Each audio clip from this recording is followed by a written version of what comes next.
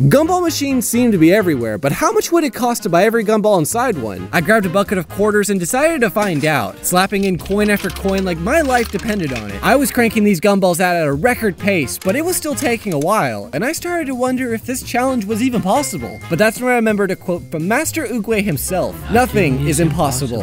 And so I pushed on, one quarter after the next, until finally it happened. I cranked the final ball, spending a grand total of $54.25. 25 cents.